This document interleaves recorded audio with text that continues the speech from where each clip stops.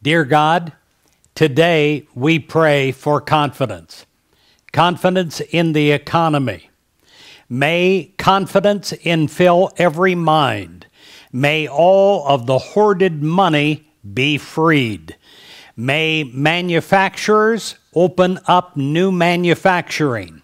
May there be a movement, a spiritual movement, a godly movement through the entire economy, blessing people at all levels of life.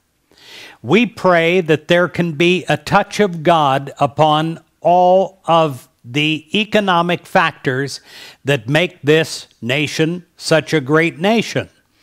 May this be a time of renewal. May this be a time of new, fresh energy and new, fresh ideas at every level. And may this be a time where things are rebuilt so that it will be in a lasting way. May this be a time of the end of the roller coaster of the economy. May there be an ever expanding financial good, an ever expanding financial prosperity that every family in America can rely upon. May this be a time where everyone dreams again big. May this be a time where everyone believes in the good. May this be a time of knowing that we can do better than our fathers and our mothers did, and that our grandchildren will do better than we are because of the ever expanding good that is happening. There is confidence in every mind in America.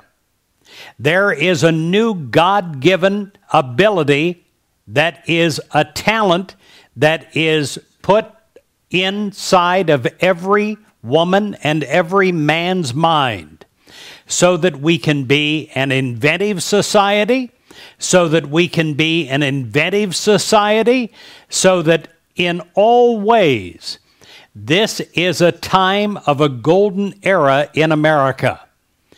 May this confidence be growing. May it be sustaining.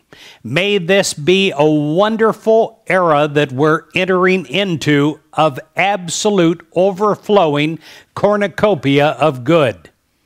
We pray this week for confidence.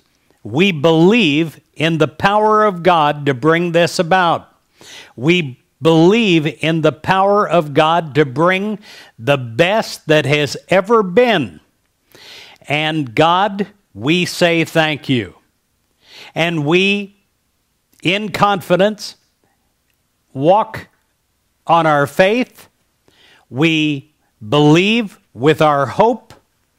And we manifest with our ability that you give to us at every level of consciousness. In Jesus Christ's name, we pray this day.